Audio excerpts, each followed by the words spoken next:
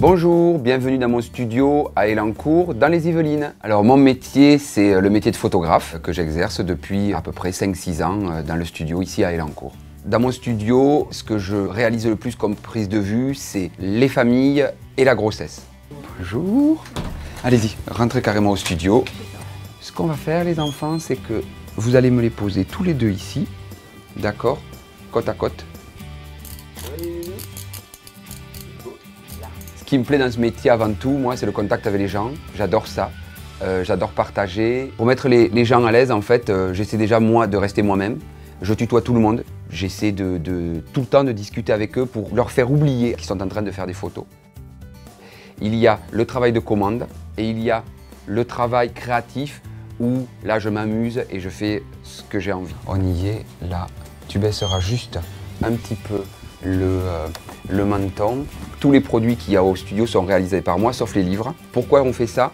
Parce que justement, je ne veux pas que, les gens qui viennent chez moi trouvent la même chose ailleurs en fait.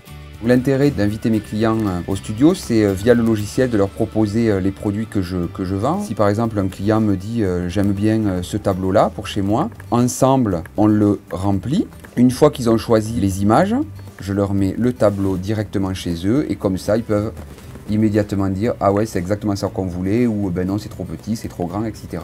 Actuellement, je suis en train de préparer euh, un des plus grands concours en France qui s'appelle l'Objectif d'Or. J'ai fait une présélection de cette image que j'aime bien et, euh, là, en fait, je vais retoucher euh, tous les petits détails qui ne vont pas sur l'image de, de mon modèle. En 2011, pour la première fois, j'ai été le, premier photographe en Ile-de-France à décrocher le titre de portraitiste de France. Et en fait, euh, l'énorme déclenchement, ça a été 2013 où j'ai été primé en Italie. J'ai eu le portraitiste de France Excellence, qui est en fait la seconde place euh, de ce titre. J'ai eu euh, mon QEP l'année dernière, qui veut dire qualifié en européen de photographeur. J'ai été le 20e en France à l'avoir, en plus de 20 ans d'existence du concours. J'ai eu la chance d'être qualifié pour la Coupe du Monde de la photo. Après, j'ai eu aussi un titre à l'été des portraits cet été. J'ai eu un award d'argent sur une des photos réalisées sur les toits de Paris avec ma petite fille et son amoureux.